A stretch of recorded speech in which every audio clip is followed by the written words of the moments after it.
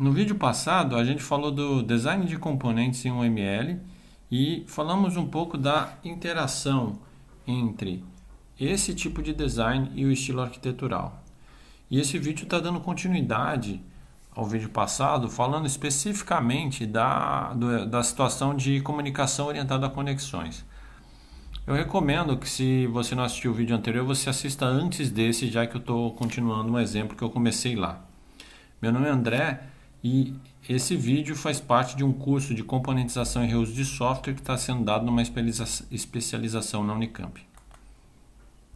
Então a gente continua mantendo o nosso fluxo, o nosso sistema, onde que começa das arquiteturas, desce para os componentes e dos componentes a gente começa a pensar na interação entre eles baseados na interface.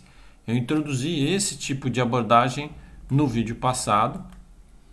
E especificamente a gente está dando uma olhada nesse estilo arquitetural chamado Data Flow e está é, analisando como é que esse estilo arquitetural é, impacta, é, influencia no projeto de interfaces ou de componentes e como eles interagem entre si e especificamente o design disso em UML. Então a gente tomou como ponto de partida, por exemplo, é, uma aplicação que foi feita no Orange, em que eu mostrei uma, como eu teria uma, uma tabela né, é, inicial que foi carregada de um arquivo CSV. Depois eu mostrei que a gente poderia fazer algum tipo de projeção nessa tabela, em seguida uma seleção e em seguida mostrar isso num gráfico não é? é de espalhamento no scatterplot. Tá? E é, isso gera esse resultado e eu, a, gente, a gente viu nos vídeos passados, em dois vídeos passados, que isso é uma forma, uma materialização de como se podem explorar componentes combináveis para é, dentro da arquitetura ou do estilo arquitetural Dataflow. E para realizar esse tipo de situação, a gente viu que a gente usa um tipo de interface comum que é repetida nos vários componentes e que existe nos componentes intermediários uma simetria e essa interface a gente chamou de pivô. É uma interface que a gente escolheu no exemplo do, do, do Orange, a gente chamou essa interface de table, que ela carrega uma tabela que vai sendo transformada, tá? E a gente viu que a gente tem então componentes de fonte lá que vão gerar tables, componentes finais que vão receber uma table para mostrar o resultado, por exemplo, e componentes intermediários que são simétricos, né? mediadores aí que vão receber uma tabela e vão gerar uma outra tabela. Então a gente deu, eu estou repassando só coisas que a gente viu no vídeo passado. E a gente viu também que a gente pode é, ter um tipo de comunicação que a gente chama de orientada a conexões, é um acoplamento mais forte, não é? é usado geralmente para comunicação síncrona e com compromisso de resposta. E uma comunicação orientada a mensagens ou documentos, que o acoplamento é mais fraco, é assíncrona e baseada no princípio de assinatura. Hoje a gente vai explorar essas, essas abordagens em mais detalhes e eu vou falar um pouco mais também sobre o síncrono nesse vídeo e o assíncrono no vídeo que vem. Então, esse vídeo a gente vai olhar especificamente o caso da comunicação orientada a conexões e no próximo o mensagens e documentos, tá certo? Bom, então vamos lá. A gente vai começar falando, vai retomar a ideia do design UML e relembrar, não é, que eu mostrei que em UML a gente representa um componente por uma caixinha, embaixo a gente representa é, as propriedades que a gente quer configurar externamente e a gente usa esse lollipop, pirulito, que chama em português, para representar interfaces. Nesse caso, uma interface provida. Eu posso, eu, eu represento usualmente não é, componentes que interagem entre si, e aí eu tenho uma interface requerida, que eu apresentei no vídeo passado, onde eu digo é um tipo de interface especial que diz que esse componente requer ou necessita de um outro componente que oferece uma certa interface.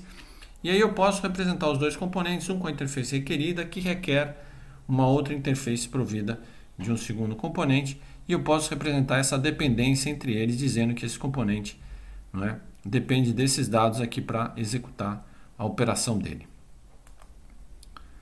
E no vídeo passado eu mostrei que a gente pode, é, é, mesmo uma, um estilo arquitetural como o Dataflow, a gente pode desenvolver ele de mais de uma maneira. A gente pode pensar no que a gente chama de acoplamento forte e acoplamento fraco. Né? No, no vídeo passado, você pode dar uma repassada lá, eu dei o exemplo da venda de ouro. Né? A ideia do forte é como você entrar numa loja, dizer eu quero comprar ouro, ele te entrega, eu tenho uma garantia de serviço, eu sei. A gente pode chamar isso de síncrono, intuitivamente. O que, que quer dizer síncrono aqui? Quer dizer que na hora que eu entrar na loja, eu digo eu quero escolher um anel, ele me entrega o anel, quer dizer, eu fico esperando, né? Eu aguardo que ele me entregue a resposta, entrega o anel, eu escolho o anel, digo, quero comprar esse, aí ele me dá a resposta. Então, paga aqui no cartão, eu pago no cartão, recebo. Então, o processo síncrono é que eu vou tendo esse, essa pergunta e resposta em que cada vez que eu faço uma ação, eu aguardo que o outro responda para eu poder fazer o próximo passo do processo. E no acoplamento fraco, a gente chama de assíncrono, porque esse cara ele fica ali na rua vendendo ouro, é como se ele estivesse espalhando uma mensagem, mas ele não, não aguarda uma pessoa específica, não é? Em algum momento alguém aparece dizendo eu tenho interesse, mas é, é isso, ele não para o processo dele, ele não fica parado até o fulano X que passou ali é, é, respondê-lo. Então, a, a gente tinha visto um exemplo que eu vou repassar aqui, e eu vou mostrar a comunicação síncrona e assíncrona, é, e que era um componente que é, é, é, hipotético, mas depois a gente vai implementar ele no, na próxima aula, não é? é? não no próximo vídeo, mas na semana que vem a gente vai implementar ele em Java é, e também é possível que a gente implemente JavaScript também. Então, é, esse, esse componente de progressão geométrica, ele gera uma sequência de números em progressão geométrica e a gente viu que tem um segundo componente que a gente chamou de chart, que ele plota de uma forma muito simplificada, esse gráfico meio tosco com caracteres, a progressão que foi gerada pelo outro. Tá? Então, a gente viu que uma possível configuração de interfaces é que esse componente da esquerda ele oferece um serviço que é o serviço de gerar números e essa da direita ele requer um serviço, ele precisa de um conjunto de números para plotar o gráfico. É? E essa conexão, a gente vai ver que ela é síncrona, porque cada vez que esse chart solicita os números, ele fica esperando e aí, quando esse cara já termina de gerar os números e entrega para cá, ele plota na tela. Então, ele é síncrono no sentido que a gente sempre usa a palavra síncrono no sentido dessa espera. Eu aguardo né, é, que o outro faça, né, é, é, é execute. Então, é, funciona assim. Esse cara, por exemplo, né, e é uma coisa que eu vou ficar sempre frisando para você se acostumar com essa ideia. Né? Eu digo que quem tem a interface requerida é o cara que precisa do serviço, é quem começa a operação sempre. Então, é, o componente chart, ele tem a interface requerida, ele começa pedindo os dados, certo? Bom, como esse tipo de conexão, como essa abordagem orientada a conexões ela é síncrona, significa o seguinte, o chart ele vai parar e vai ficar esperando um resultado. Isso que significa síncrono, né? Ele aguarda, ele bloqueia o processamento dele e fica aguardando que o outro componente responda. Aí o outro componente ele vai gerar os números solicitados e responde para o lado de cá, tá certo? Na hora que esse de cá recebe a resposta com os dados que ele pediu, aí ele plota o gráfico. Então, o síncrono significa é, é, é, é uma operação que a gente chama de bloqueante. Né? Eu solicito alguma coisa, então, eu tenho tanta garantia, eu tenho tanta certeza de que aquilo vai acontecer, é por isso que eu chamo de um acoplamento forte, porque eu sei que vai acontecer, então eu solicito, espero já que eu tenho uma garantia de que vai acontecer, é, o de lá de lá processa e aí eu recebo o resultado e eu continuo o meu processamento, por exemplo, plotando um gráfico. É, a outra forma é o que a gente chama de acoplamento fraco. Eu posso imaginar esses dois componentes interagindo de uma outra maneira e vocês devem lembrar que eu mostrei essa essa forma de representar, onde esse cara ele gera uma mensagem, um documento Né? A gente, ele gera, ele põe num certo. Aqui embaixo eu tenho o que eu chamo de barramento, que é um meio comum onde os vários componentes trocam mensagens, né? E esse símbolo vai representar alguém que está gerando uma mensagem e esse símbolo vai representar alguém que está recebendo uma mensagem. A gente vai de novo retomar esse e detalhar mais. A gente usualmente usa um serviço de assinatura. Ele assina para receber uma mensagem. A gente falou um pouco isso no vídeo de componentes web, não é? Então, o que, que vai acontecer? Esse gerador aqui, ele gera os números. Note que agora eu estou começando pelo lado de cá e a gente vai discutir nesse vídeo um pouco essa abordagem de quem começa a história. Então, no exemplo anterior, quem começava era o chart, né? E agora quem está começando é esse cara aqui. Ele gera os números e põe no barramento, certo? Note que esse processo ele é assíncrono. Por que, que a gente diz que ele é assíncrono? Porque ninguém está ali esperando, ninguém está bloqueado, aguardando que alguma coisa aconteça, tá certo? Ele põe a mensagem e na, no momento que ele puser a mensagem, o chart recebe e mostra, tá? Recebe a mensagem e mostra. Mas o chart, ele é, é, a gente diz que é assíncrono por quê? Porque com esse serviço de mensagens, primeiro, muitas vezes é, é, é gerado na hora que os dados estão disponíveis, então esse componente muitas vezes não vai ficar esperando nada. Quando ele receber, ele faz a ação. Mas ele pode estar fazendo até mesmo outras coisas, e isso é bem comum. Não é? Por exemplo, eu posso ter um componente que tem uma tela lá mostrando um gráfico, e cada vez que chegam novos dados, ele atualiza o gráfico, mas ele não fica esperando, ele atua sobre reagindo. Né? Então ele recebe alguma coisa, ele reage fazendo alguma coisa. É reativo, a gente poderia chamar assim. Tá certo? Então é diferente do síncrono que eu solicito e espero e só quando eu recebo eu continuo. Aqui não. Aqui eu reajo, tá? Eu uma mensagem é postada, eu recebo essa, esses dados e aí sim eu reajo fazendo alguma coisa. Então a gente diz que isso é assíncrono. E esse acoplamento ele é chamado de fraco por quê? Porque esse cara da esquerda ele nem conhece, nem sabe se tem alguém que vai fazer alguma coisa com esses dados que ele está postando. Não existe uma conexão entre esse e esse direta, tá? Eles não se conhecem, tá? Isso gera flexibilidade, a gente vai fazer várias discussões sobre isso, tá? Mas também a gente diz que ele é mais fraco, tá? Ok. É, Nesse vídeo, então, eu dei só uma repassada, tá certo? Mas nesse vídeo especificamente, a gente vai falar das conex... da orientadas conexões, que é o primeiro grupo, é aquele de, de acoplamento forte. Então a gente vai aprofundar agora por dentro como é que é, do ponto de vista da modelagem, essa comunicação entre componentes usando conexões e um acoplamento forte, tá? Então a gente vai retomar o exemplo do Geometric Progression e do Chart. E a gente vai nomear agora essa interface. Então, eu já tinha falado para vocês que esse pirulito ele representa uma interface, né? uma forma de comunicação entre esses dois componentes. E na esquerda eu tenho a, a provida, quer dizer que ele provê o serviço, e à, à direita eu tenho a requerida, certo? A gente usa o mesmo nome para as duas, porque um provê o iSequence e o outro requer o iSequence. Tá? Mas a, a gente pode, se a gente quiser, e a gente agora vai começar a detalhar isso, não é?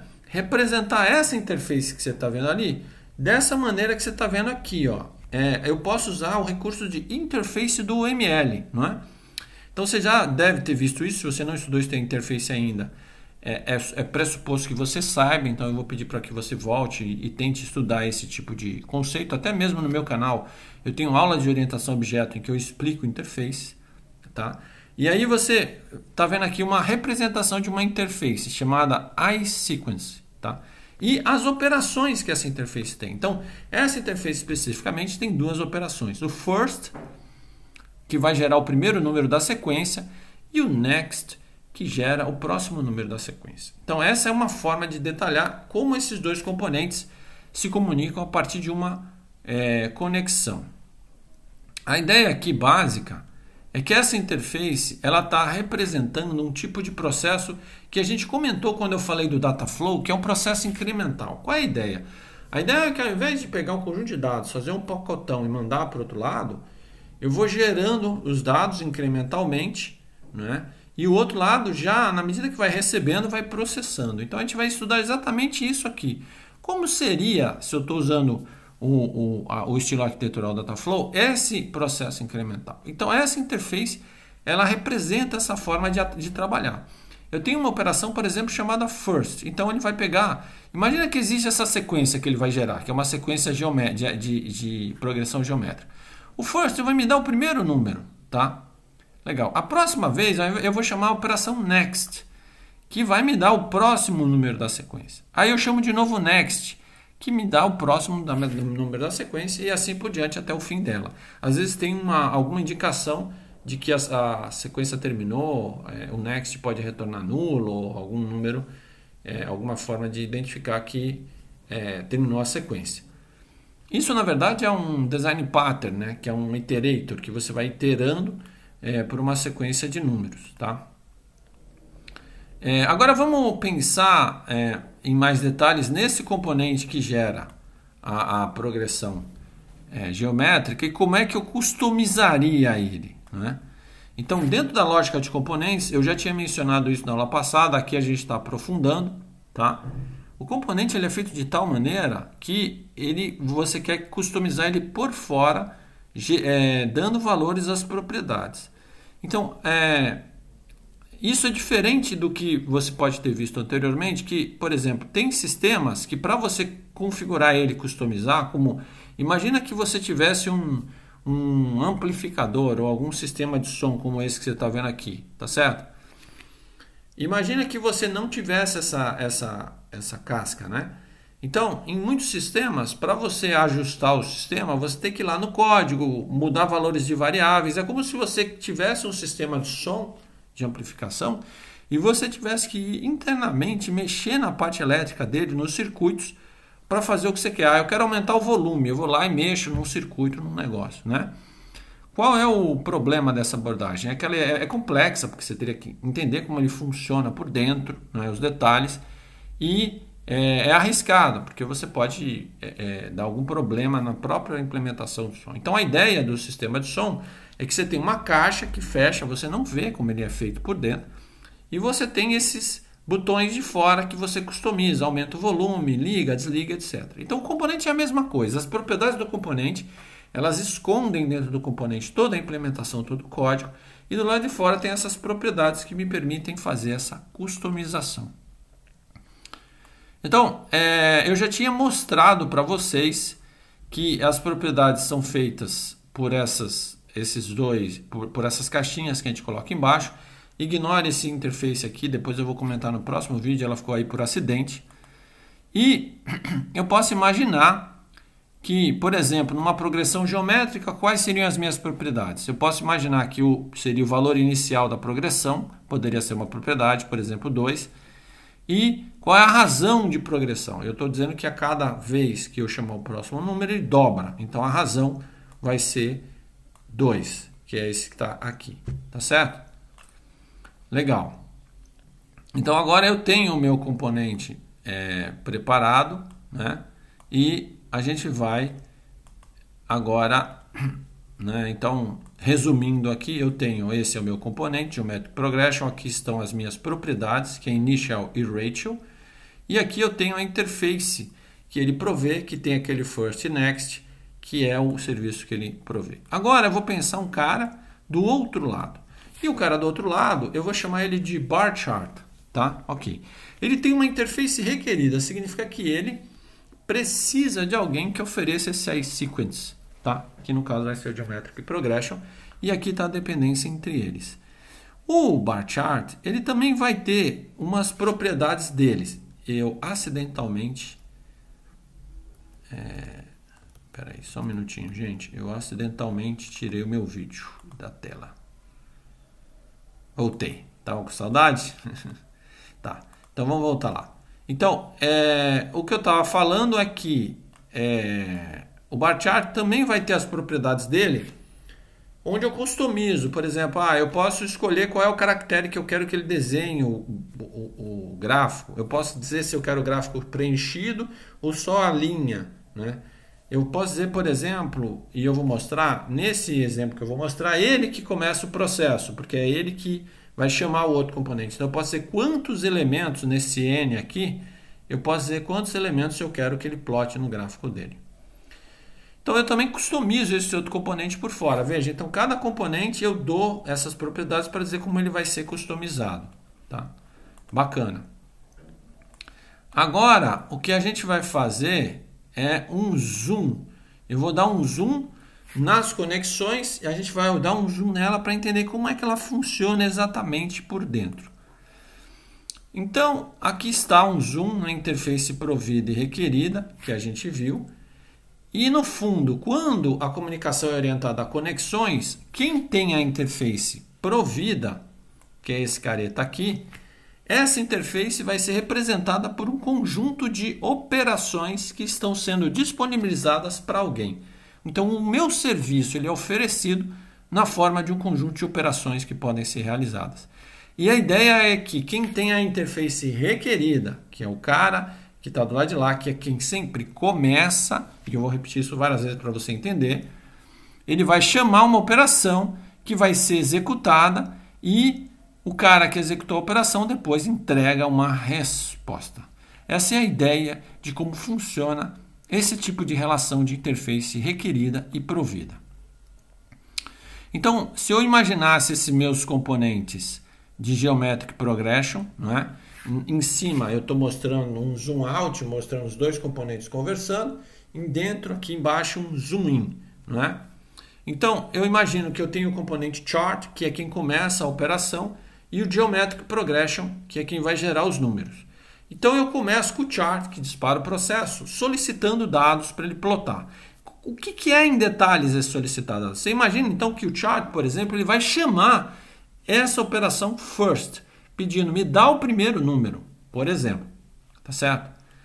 E aí, o Geometric Progression ele gera esse primeiro número, que foi solicitado pelo chart, como você está vendo aqui em cima. E ele então devolve para o chart o número 2, o primeiro da sequência que ele gerou. É, não é? Então, note, aqui ele é síncrono, significa que o chart, na hora que ele solicitou, ele ficou parado esperando a resposta. Na hora que ele recebe a resposta do 2, ele plota esses dois pontos na tela. Aí o chart segue adiante, chamando agora o next, ele quer o próximo número. Então ele solicita os dados do próximo número o Geometric Progression gera o próximo número. Note, o chart está esperando o próximo número. Isso é síncrono, ele para e fica esperando o próximo número. Na hora que o, o, o, o, o Geometric Progression entrega o próximo número, ele plota. E assim por diante. Então você está vendo que essa interação entre interface provida e requerida é sempre a interface requerida que chama, que inicia o processo.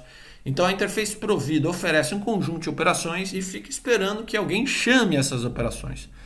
Aí quando alguém chama, não é, ele executa o que tem que executar e entrega o resultado para quem pediu. Essa é a ideia, tá? Esse é o, é o básico que você tem que entender aqui, tá? Só que você achou que já tinha entendido tudo mas no fundo ainda tem umas variantes em cima disso, tá?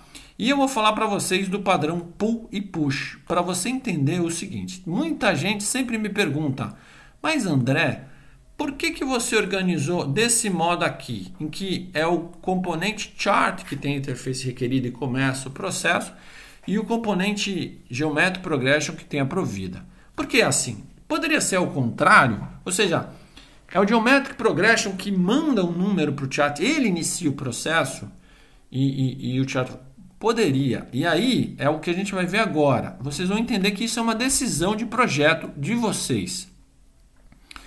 Quando você faz esse tipo de comunicação, tem dois padrões. Um que a gente chama de pull, não é?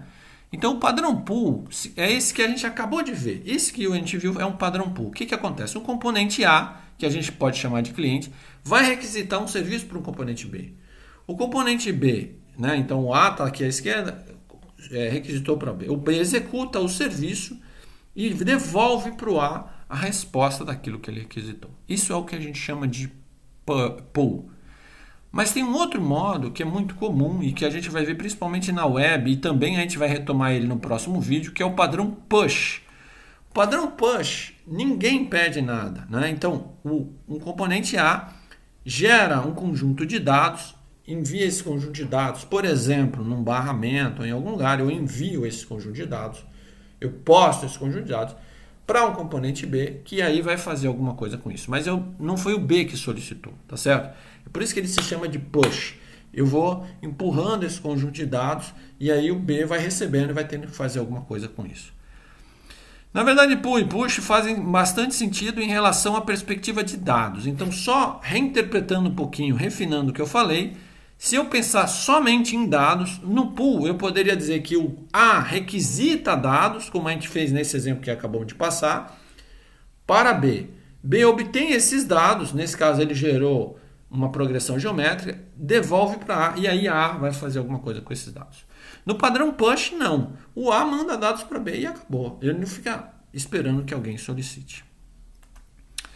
Então, é, vamos lá. A gente tinha esse padrão que era o pull solicita, né? o, o, o, o chart solicita, espera o resultado e, e o, ele entrega e ele plota.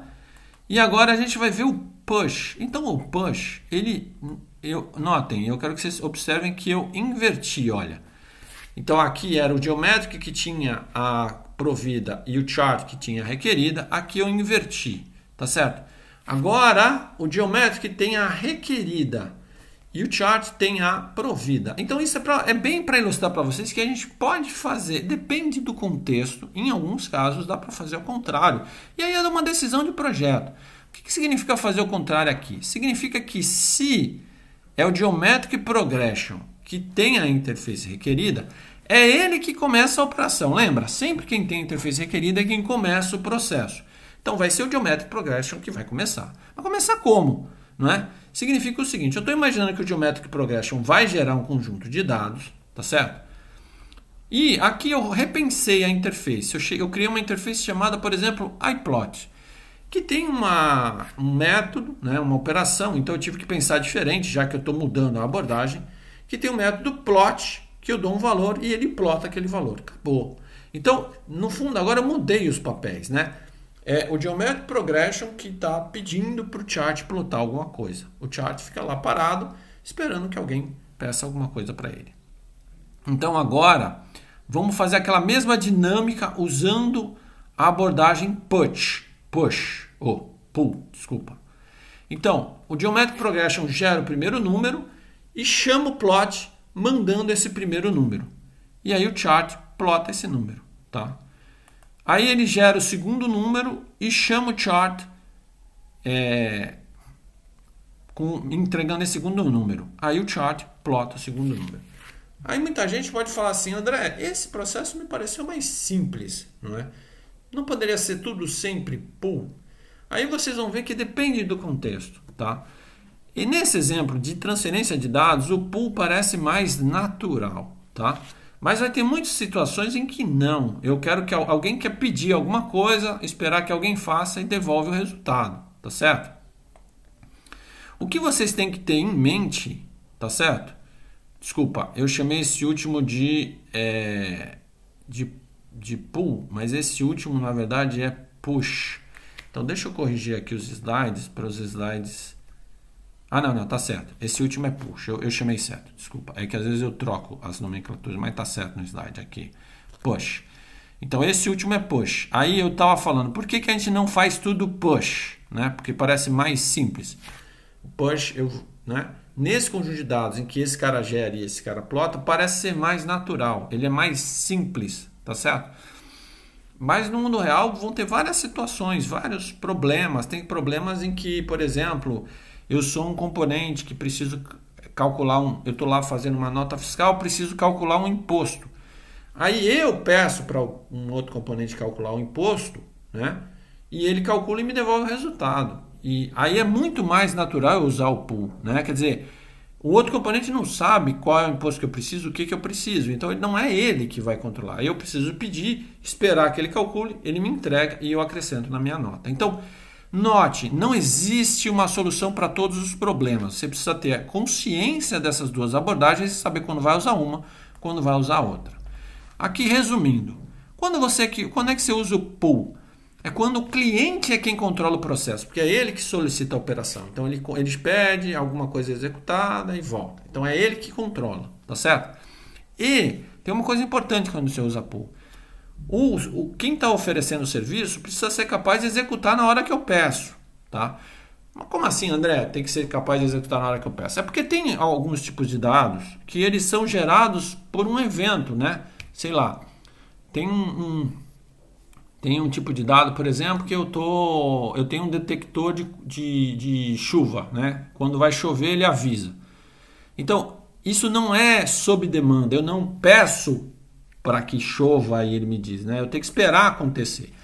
Então note que eu uso o pool quando o serviço que vai ser executado, ele vai, eu solicito, o cliente vai ser capaz de gerar esse, esse serviço, produzir aquilo naquela hora e vai me devolver. O push é um padrão que, que é o provedor quem controla o processo. Então lembra que na hora que eu inverti, quem passa a controlar, quem passa a dizer o, o ritmo, é quem está entregando os dados, tá certo? Então esse tipo de, de abordagem ele é comum quando o cara que está fornecendo os dados, ele sabe quando os dados vão estar disponíveis, ele sabe o ritmo da entrega, tá certo?